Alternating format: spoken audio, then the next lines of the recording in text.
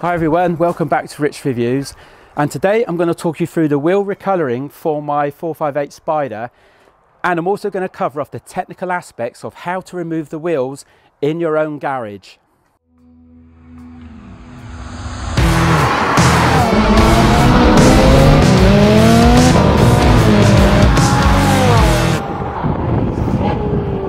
So I'm going to split the video down into a few stages.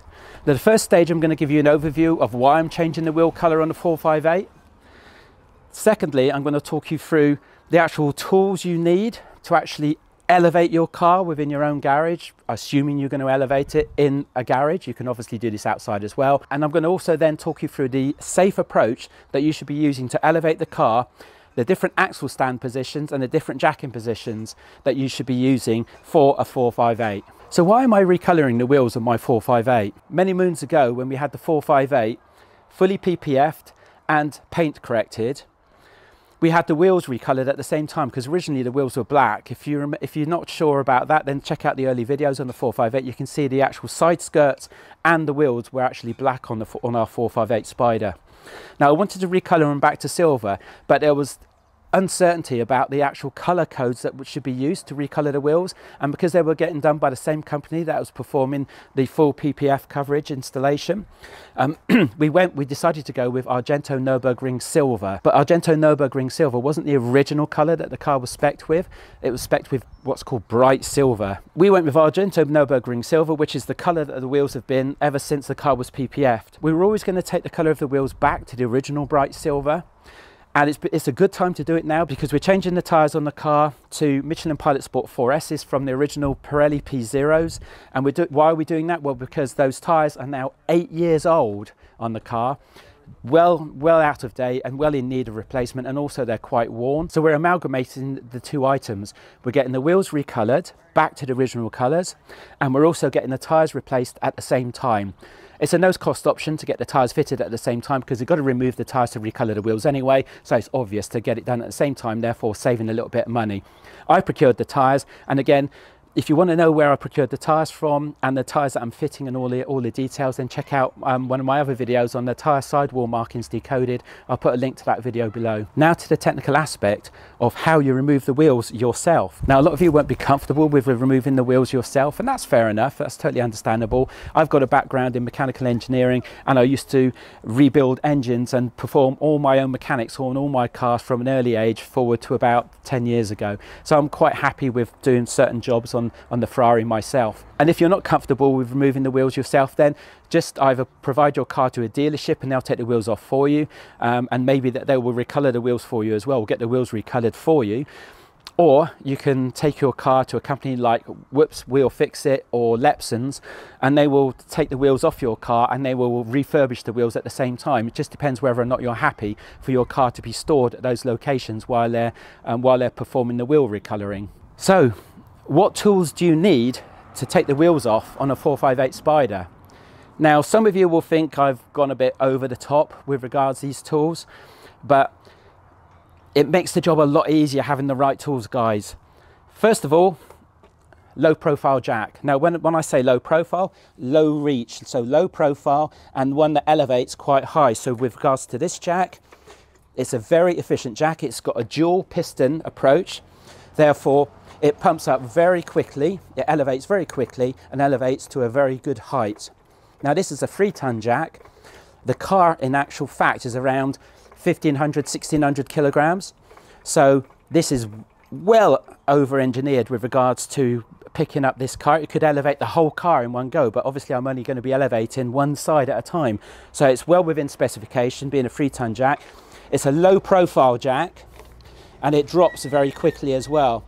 Now, I did actually update my jack, so this is a new jack. I updated it from this point forward just to make it easy to, to lift this particular car up, to lift my 458 up, because it's quite low clearance on the side. Now, the second thing you need, the jacking points on the 458, especially the rear jacking points, have a seven and a half centimeter diameter. So that's this section across.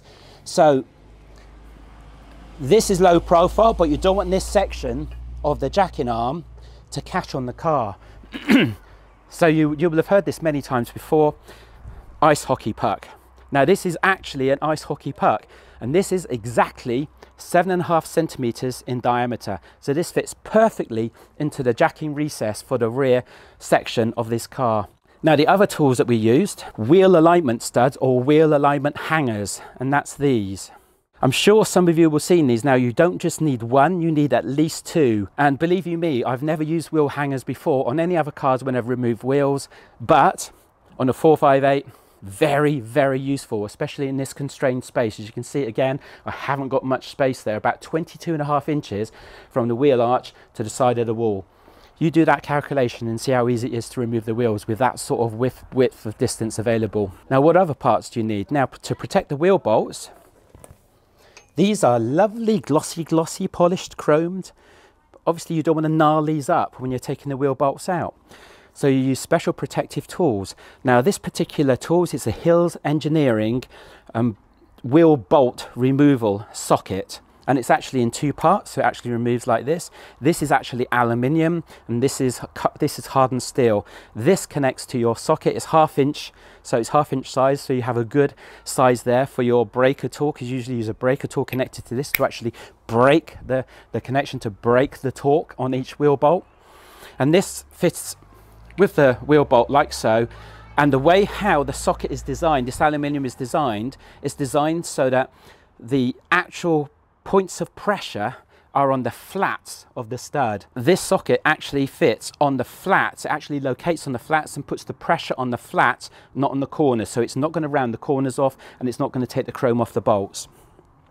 So those are the tools, those are the tools you need, um, the proper tools you need to be able to remove the wheels in a, in a good technical approach and in a safe technical approach. Now, in addition to these specific tools, you'll also need axle stands because once you've taken the wheels off, you need to be able to keep the car safely elevated um, for quite a bit of time. Now, the ones I purchased, again, are as with this trolley jack SGS because SGS is a great make lots I did lots of research around this company they're very well priced and very well engineered now I chose three ton axle stand so each axle stand can take three tons in weight as I said before, this car isn't even 1700 kilograms. So this will take twice the weight of the whole car. One axle stand will take twice the weight of the whole car. So three ton axle stands, and that's what this car is actually elevated on at the moment.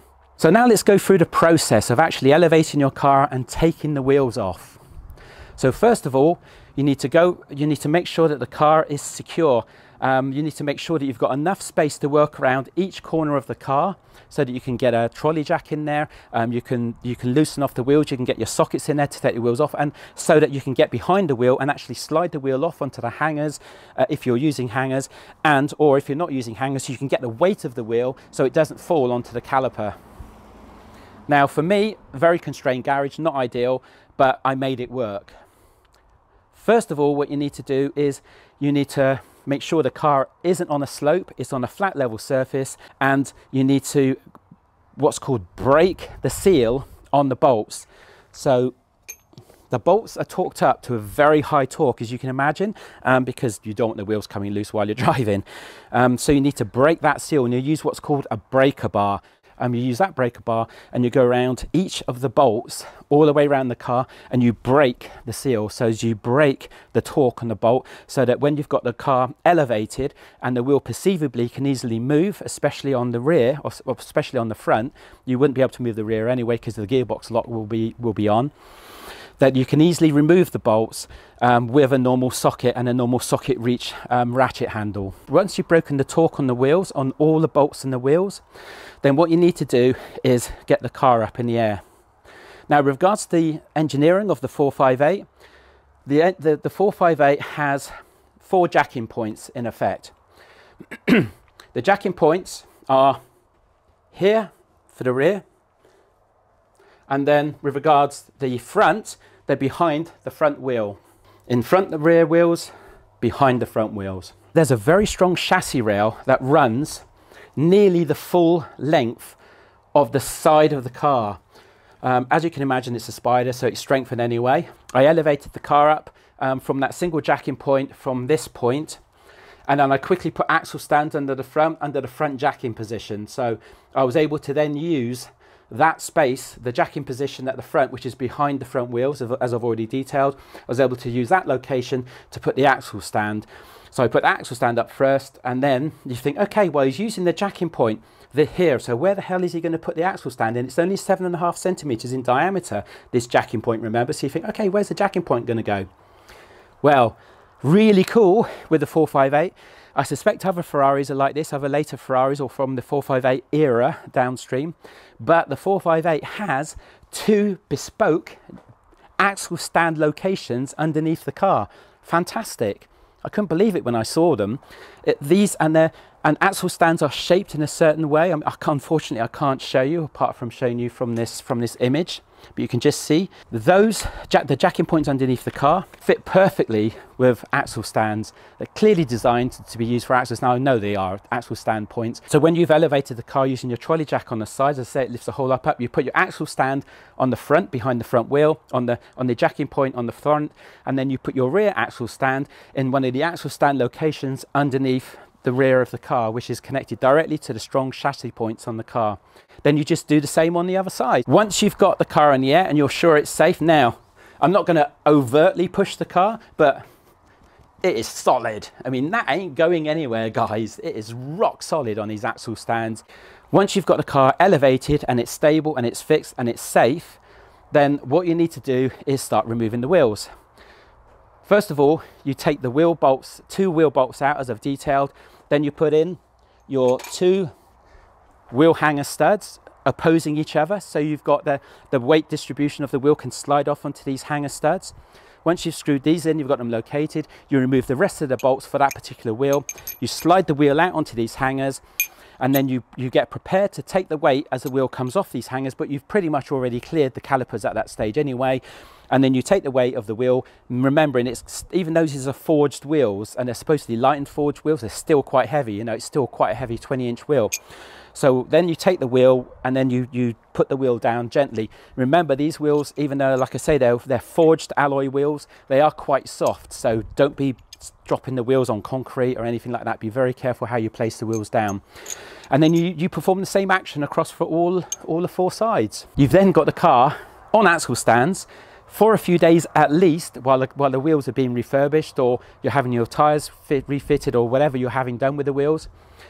It's a perfect opportunity to get in there to have a good look round the wheel arches and I know it sounds sad again, but to give the calipers a good clean. And in general, to what I did was I used GT85 oil and oiled some of the studs that are bare that are showing inside the wheel compartment just you know why not? You know you're there anyway so you, you might as well give it a bit of a clean and oil some of the some of the bare bolts and studs that are available there.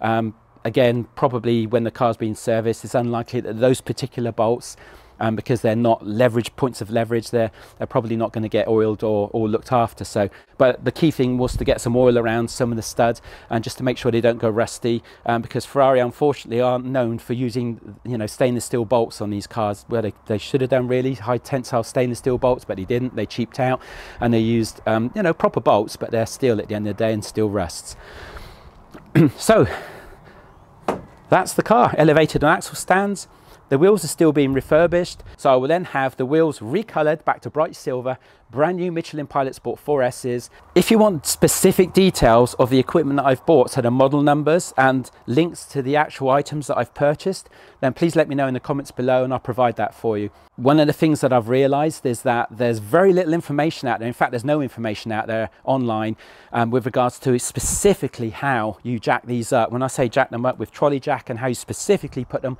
on axle stands, there's no technical information. I had to research how to do it and then I had to work it out myself myself and find that they're you know the axle stand location points etc myself by getting underneath the car and looking find out where the chassis rails are etc etc so um, you know, it was a lot harder for me. I had to research all that and then look and research it underneath the car. Uh, but it's a lot. I can then provide all that information to you, which makes it pretty cool for you.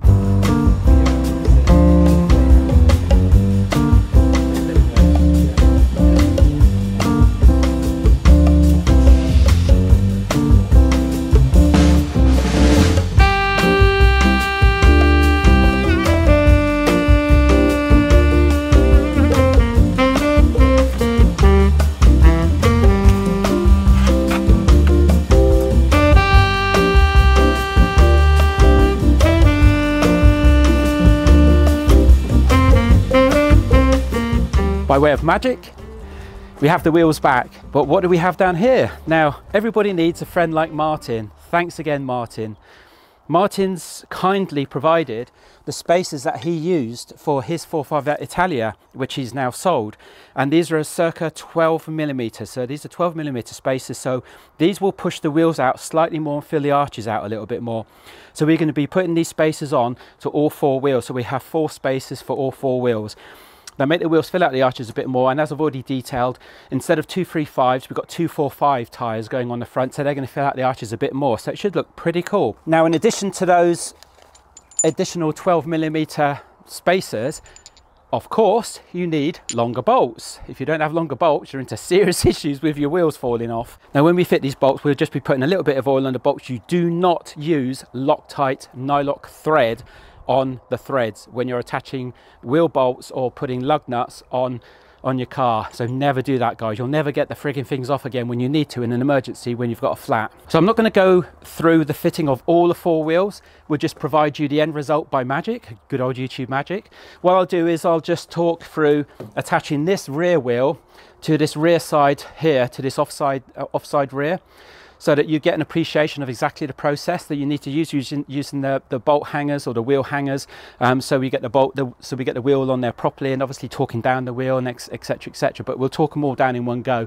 Um, we'll show you that as well, but just torquing one wheel down at the end and we'll show you how to get the axle stands uh, removed by getting the jack underneath the car, jacking up the, the side of the car properly using the proper equipment as I've already shown you, getting just this wheel on and then we'll take you through lowering the car down and how to lower the car down properly as well as you have the whole end-to-end -end process. And then of course we'll do a reveal and we'll go for a first drive with these Michelin Pilot Sport 4Ss K1s. So for fitting the wheels on, just for fitting the actual wheels on, not torquing them up, just fitting them on, I'm going to be using a little bit of white spirit. I've already cleaned around these areas anyway. I've already cleaned all around the wheel arches where I had the wheels off.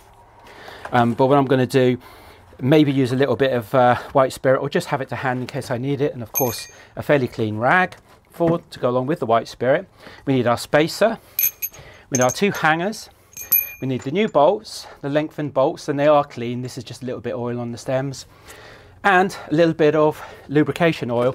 Now you shouldn't use too much oil. This is just a slight amount of oil just to go on the threads. And from where they've been used before, I think there's a little bit of oil it's still on the thread, so I may not even have to use that. And of course, as I detailed before, our special socket, which is specially designed so it only puts the only puts the torque and the effort onto the flat surfaces of these lug bolts so it doesn't doesn't damage the chromium plating. It doesn't remove the chromium plating because it's not putting the torque on the actual corners, it's put it on the flats. And this is a special Hills Engineering dual socket, again, that I've already detailed to you. And this first stage part is actually aluminium. So it's going to apply the torque just on the flats. As you can see, it's slightly different in its design to a normal socket, how it's been engineered. About 100 quid just for that socket. Ferrari, although it's Hills Engineering, so and it's a 17 mil by the way, so it's a 17 mil socket for these 458 bolts. Now the first thing you need to do is line up the spacer. Now you won't necessarily be using spacers, but in my instance I am um, because of my friend Martin providing them for me. Um, so um, be uh, crazy not to make use of them really. A mallet, rubber mallet, you don't want a hammer, you don't want to be damaging anything. This is just aluminium. So again, I've already cleaned that back place, that back plate surface. So I'm just gently easing on the, the spacer onto the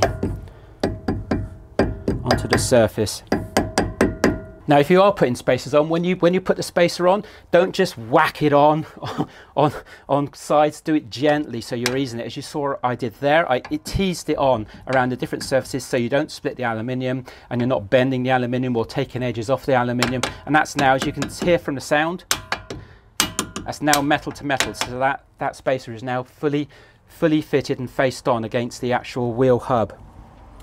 So what we do now is we put our wheel hangers on, we put them at opposing points so that you get maximum benefit of using the wheel hangers. If I, if I did that, for example, then you've got all the weight on that side um, and you know, no, you've got all the weight retained here or held here and nothing supported on this side. So obviously you want it opposing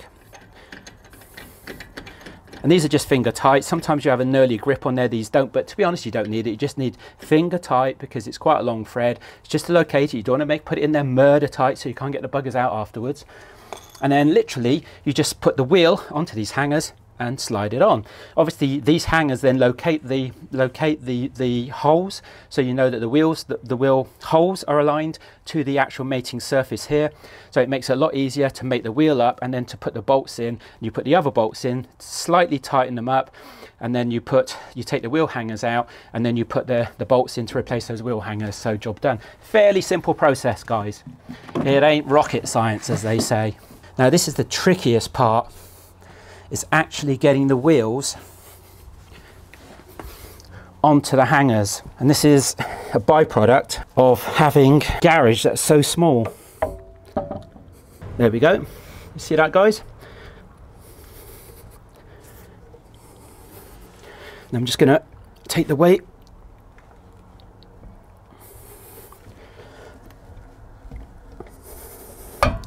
Of the wheel just as I tease it on so we've got the wheel on the hangers. As you can see, because I've got such a constrained space here, it's a pain in the ass. If I didn't have wheel hangers, it'd be a real nightmare getting this wheel on. And because it's, you know, be trying to hold it up, trying to put a bolt in, meanwhile the wheel's hanging off the caliper, damaging it. So you've got to be so careful. But that is now lined up. Literally a case of just pushing the wheel in. These are the new bolts. Little bit of GT85 on the wheel bolts taking great care not to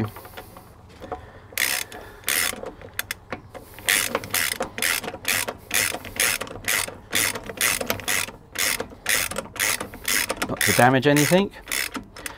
Slightly tighten it up Again, a little bit of oil. Try and put them opposing where possible.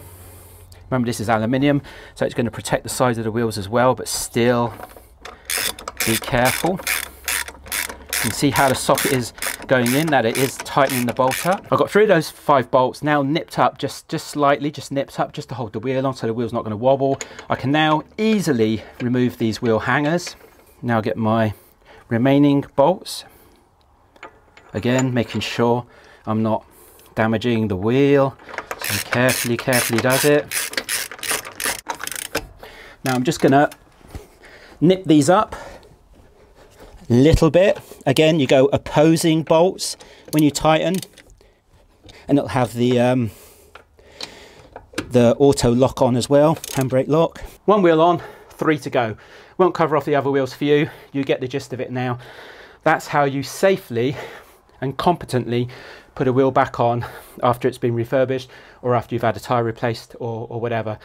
And we'll cover off, we'll next cover off how you actually elevate the car to put it, to drop it back down off the axle stands and how we then go around and properly torque up the wheels to 100 newton meters.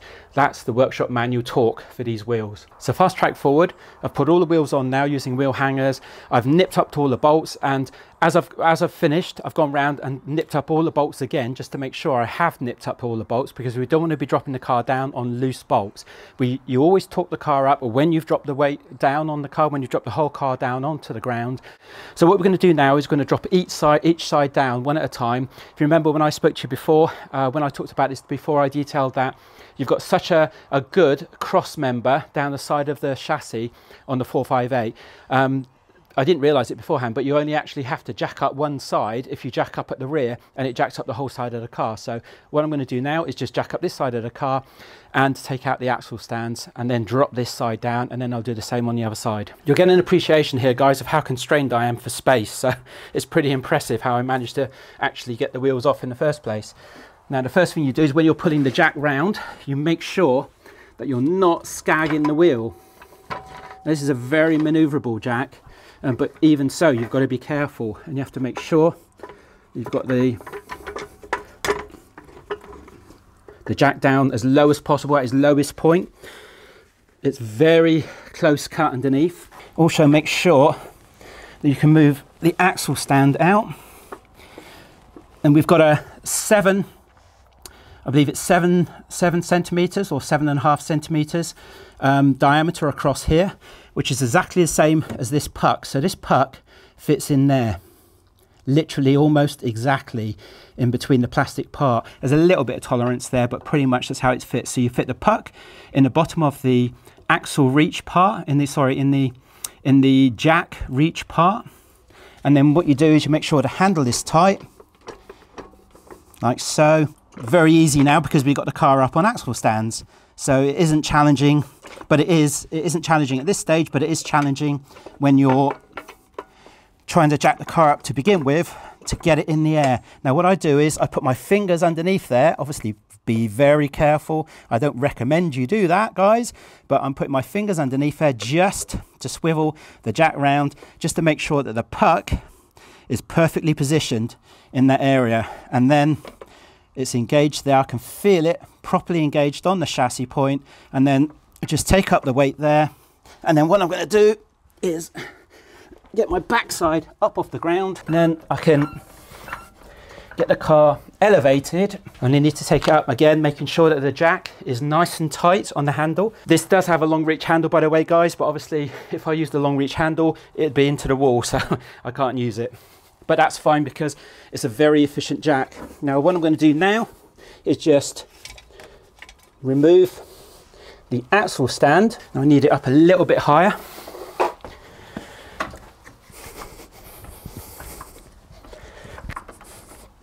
But you want it only to the maximum height. Okay, so there. I've triggered triggered the theft alarm system, the anti-tilt sensor. I've forgotten to switch off the alarm. So first case, switch off the alarm. So rookie mistake there, guys. The tilt sensor was triggered because the alarm is on. So switch off the alarm on the car, that switches off the tilt sensor. And then when the car's tilted with you jacking the car up, you don't get such an issue. So there we go, won't get a problem anymore. Now, I can remove the axle stands, which we've already done one there. Remove the front one,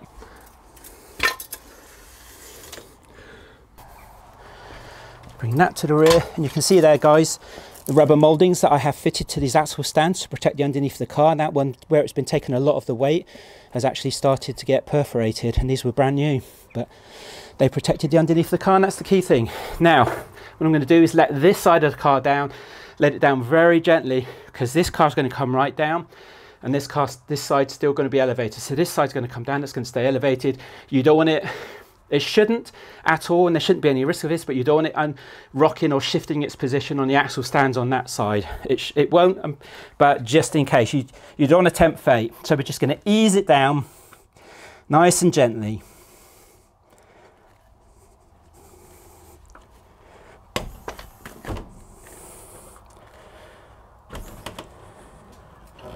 Then we drop the axle, the, we drop the, then we drop the jack right down so we can then clear the jack out from underneath the car, remembering even with a very low profile jack like this, it's still very easy to catch the underneath of the car. I've got the jack underneath the correct jacking point on the on the longitudinal chassis rail and I'm just going to let this down now. I've pulled out both axle stands. So this is the last bit guys, apart from torquing up the wheels. So just gently, as gently as possible. It does come down still quite quickly, but there we go. And then drop the jack right out the way and pull it clear so that there's no messing around, catching yourself on the jack, tripping over, catching the car and anything else and obviously being very careful. So now we have to go around and torque up the wheels. Now, the torque for these wheels, as detailed in the workshop manual, is 100 newton meters. So you set your torque wrench to 100 newton meters. Some people torque them up to 110, some 190 120. I'm going to torque it up to 100 and see how it goes. If it feels it's not tight enough, I might nip it up a little bit more. Um, that's because I've got the spacers on here now. That may take up a little bit of slack with the spacers and obviously I want to make sure the bolts are tight or the screw bolts as they call them. Once we've gone out for a first drive in this, then when we come back, uh, we'll then go around and re-torque the wheels again. And when you go out on the first drive as well, which is what we'll be doing, you take it very steadily, especially as these have got spacers on now. You just want to make sure that everything is right. There's no wheel wobble, no shake, and that the wheels are correct. So this is just a Halfords torque wrench. It's a very good quality. I think it's the best quality torque wrench they provide. Um, I'm not too much into electronic torque wrenches, so this is the old style. Um, this is a click handle torque wrench rather than electronic meter. So to, to set this torque wrench up, you pull out the handle which takes off the lock and then using this meter here, you've got newton meters on the left and you've got pound foot of torque on the right. So newton meters is what I'm going to use as a scale and you can see the marker there. I'm just going to wind it up to 100 which is there and then lock so it's set to 100 newton meters of torque and we've got the lock in there. So now we go around and again, using the opposites technique, we're going to tighten up the bolts. We're going to torque the bolts up and we're going to tighten them up first, depending on how much um, they need to be turned. You don't whack them right up to the torque first of all. You do each wheel judiciously, each sorry, each bolt or screw judiciously, but opposing. So you do opposing sides. Say, say where you would torque up a cylinder head. It's actually picking up the torque quite quickly because I tightened it up fairly well. You can hear the click there as it goes, as the torque is reached. So that's 100 newton meters. I think you only need to join me for this wheel because it's just doing the same bloody thing. So I'll just, guys, so I'll just torque this one up for you, do the rear wheels. Again, very close to the 100 newton meters of torque because I tightened the wheel up quite a lot beforehand. I'm just going to go around again. Again, opposing sides.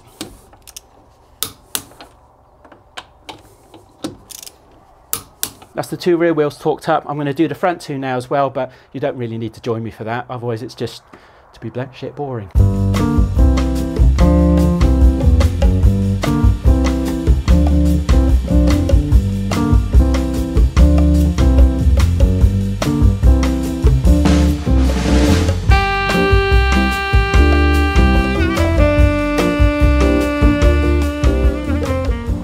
So we've pulled over just to show you the difference in the with the wheels recoloring and the wheels fitment now that the changes um, now that we've had the changes made and also to talk you through the wheel recoloring process.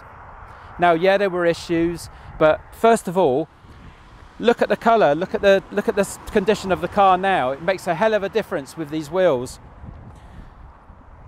these tyres are now 245s on the front, so they were, they're normally 235s, so that means they're a little bit wider, so they're pulling out and they're filling out the arches a bit more. Remember, we put on 11 millimeter spacers. They're Hills engineered spacers, so they're very high end, very high quality. With, of course, longer bolts extended by 11 millimeters. If you don't put longer bolts on, then you're going to have serious problems with the wheels potentially um, coming off later on with the bolts coming out. Um, so these are 245 front tyres, and they've got 11 mil wheel spacers. So you could say it's come out 21 millimeters there. So 21 millimeters extended out, an additional exterior offset on there.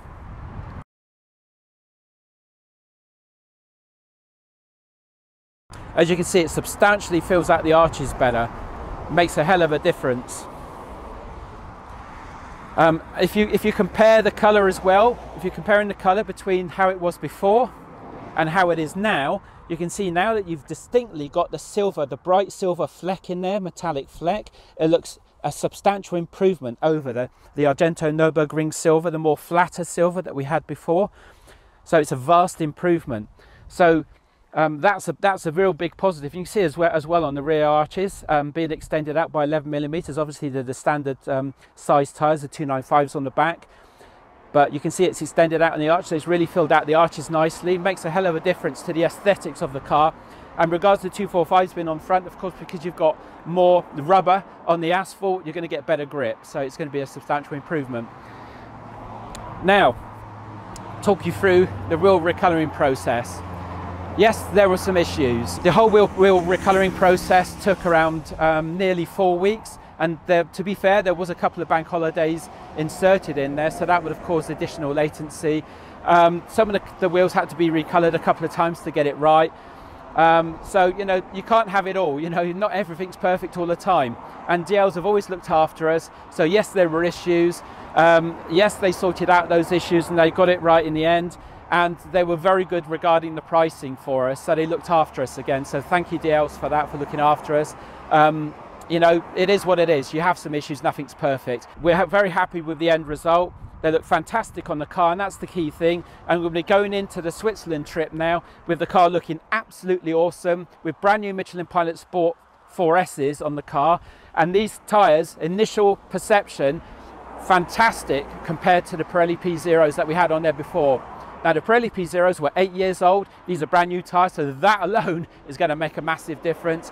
But Michelin Pilot Sport 4Ss, and these are the particular K1s that are Ferrari rated, they are going to perform a lot better and initial impressions are that they do, but we're going to do an initial first drive video comparing these tyres against the old uh, Pirelli P Zeros in a separate video. So make sure you subscribe to catch that video. And also, guys, make sure you subscribe to catch our future Switzerland European tour. So we're going to be covering off, driving straight down into Baden-Baden, moving across the Geissbach. We're going to be driving across the near Lake Como, etc., etc. There's a few other areas that we're going to be hitting as well. We're going to be staying at a different hotel every night, so we catch the major passes in that particular location. So we're going to move, be moving around a hell of a lot. We're going to bring you directly with us. So you're going to see all the driving on all those passes with all the other supercars that are coming with us. At the end of the European tour, there's a bonus point at the end of it. So make sure you subscribe to catch that additional content. It's really an awesome end bit that's tagged on. I'll say more later. So thanks a lot for watching guys. If you enjoyed the video, please give it a thumbs up. Very important for the good old YouTube algorithm. You know that's very important.